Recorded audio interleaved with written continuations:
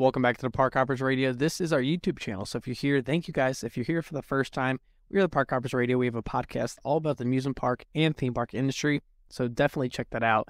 Uh, but we're doing a video doing the Kings Island rankings for their roller coasters, all the way from S, best tier, C, middle tier, F, it's kind of like the worst tier, terrible. But we're gonna rank those rides um, on this on this tier list today. Um, so if you guys enjoy these videos, definitely leave a like and subscribe. We're trying to get the 100 subscribers, so that'd be amazing. And I'll, we'll be posting every Sunday and every Wednesday for our podcast. So every Wednesday at 12 o'clock, you can check out our podcast. And every Sunday at 5 o'clock p.m., you can check out our YouTube videos. So without further ado, let's get into this tier list. But before we do, a few special shout outs to our Patreon subscribers Jackson at our Diamond tier, Caleb and Ali at our Platinum tier, Joe at our Gold tier, Aiden and Matt at our Silver Pass tier. So thank you guys for all the support that you give us. And if you want extra bonus content, extra episodes for the podcast, and behind the scenes content, and if you want some printed photography and it's printed and shipped out to you, definitely check out our Patreon page. But if you want to support us the easiest way you can, is just leaving a like and following us on our social media. So without further ado, let's get into the rankings. So I have we're gonna we're gonna rank this just like this. I'm gonna start out with Woodstock Express. I mean it's I mean it's I give it a I'm, I'm gonna I'm gonna give it a C tier. Woodstock Express is not a bad kids ride. It's it's a pretty average ride and I enjoyed it. It's not rough at all, but the seats are very uncomfortable for somebody that's over the feet, over like six feet tall. But it's not a bad kids ride per se, and it's a good starter wood coaster. So I'm gonna keep it at the C tier for that. Um, we got we even got Invertigo. I mean, we got I mean we got Vortex on here. Gonna put Vortex in the B tier. I know it's not here anymore. Rest in peace, Vortex. But um, definitely definitely in the B tier. Uh, it was a good arrow looper, and I definitely missed it. That plot of land definitely needs filled in. Um, but for the time being, I'm gonna keep it with a B tier. It wasn't bad. It's better than the Corkscrew, uh, better than Anaconda. But yeah, definitely gonna keep it B tier. Um, let's go with uh another defunct. Well, Firehawk. I, I'm. I only rode Firehawk one time, and my experience on it was pretty limited. Um, it was after it was moved from Geauga Lake, and I was around 14 when I rode it. So I'm gonna give it C tier. It's pretty average. Uh, wasn't anything too exciting, and I haven't rode the one at Carowinds yet, so I'm gonna leave it at the C tier. Um, let's get the Bat. Bat's F tier. I'm sorry for all my Kings Island lovers. I think Iron Dragon's a better ride. I know it's more intense than the Iron Dragon, and it's supposed to be like that, but I just didn't find this. I mean, it was rough. Uh, it was unenjoyable, and honestly, it was just pretty short and pretty boring. So keep it there. Uh, Great Pumpkin Coaster. I'm gonna put D tier. I haven't rode it. It's the only ride, I haven't rode in the park. Uh, but it's a kids ride, and it's honestly just the kids ride, so you can't really rank it above anything else. Uh, let's go with another. Let's let's start out with. Nah, we're gonna start with Banshee. Banshee's S tier for me. I think Banshee deserves a spot as S tier. I think it's Hall of Fame tier, and I think it's arguably one of the best, if not the best, inverts in the entire country from B&M. Uh, so argue with me all you want, but I want to know your comments. Uh, what you, what is your favorite invert in the country? Let me know. But I think it's personally one of the best. It's the longest and most inverting invert in the country and in the world, and I think it's arguably the best. So let me know. Um, Invertigo, gun F tier again. Uh, probably the worst ride in the park. They need to completely tear this ride out, transform that front gate, and make it something interesting because that area has a lot of potential over there uh, with that action zone. But take out Invertigo, take out that water ride, uh, that Congo Falls, and I think you could transform that front area and that front gate into something like spectacular and beautiful. But just don't take away from the sight view of the Eiffel Tower. Um, let's go with. I think I think the Beast deserves a spot at the A tier. It's not quite Hall of Fame tier. It's one of the most iconic rides ever.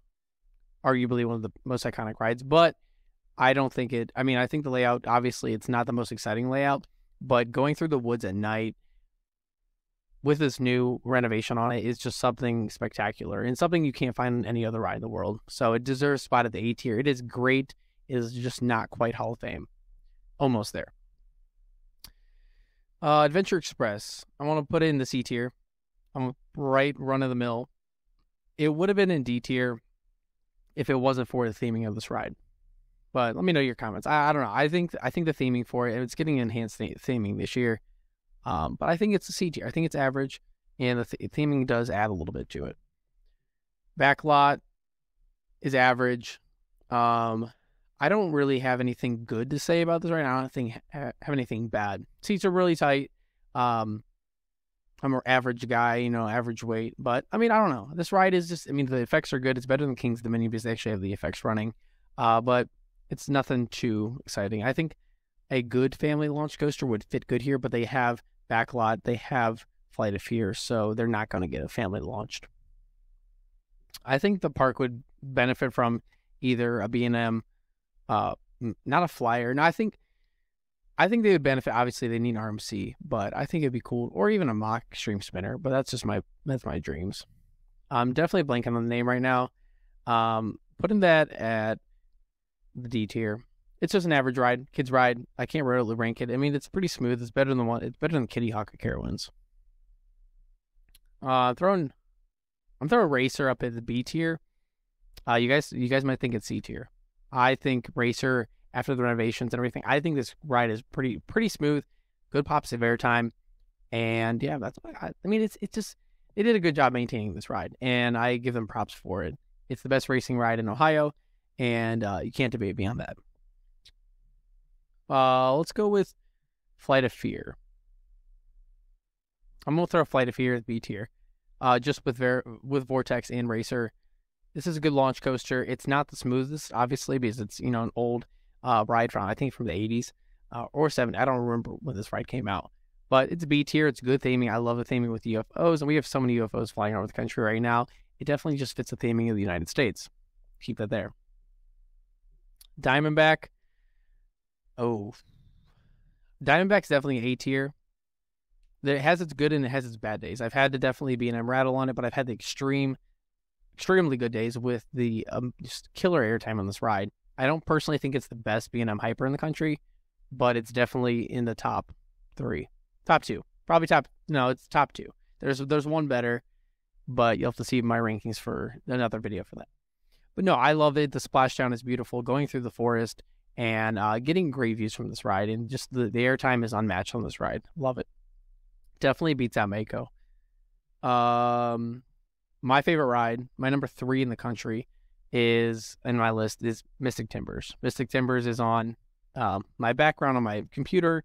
It's I have a picture printed out from a, another fellow enthusiast. It's like a 2D model of it. Um, I've had I'm, I love this ride. This ride is beautiful. This ride is a masterpiece. This ride is Hall of Fame tier, and arguably the the best GCI in the country. And you can't. And I think I think. I mean, let me know in the comments. Debate me in the comments. I haven't read a lot of GCIs, but also if you want to check out our GCI episode, it's episode 38 on the podcast. You can listen to our interview with GCI and their their um their company PR lady. So it was a really good interview, and we asked some really good questions and got some insight into some future projects. So check that out on our podcast on Spotify or Apple. And last but not least, we have Orion. Orion is A tier. Orion is not Hall of Fame tier. It's not the best Giga in the country, but it gets a lot of hate. A lot of people would put in the B tier, I would think.